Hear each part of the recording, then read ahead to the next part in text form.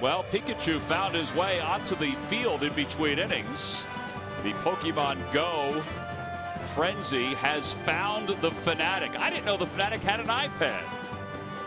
And he ran into Laz Diaz. That's what's happening, Ben, all across the country. It's all the craze, Tom. It Sure is.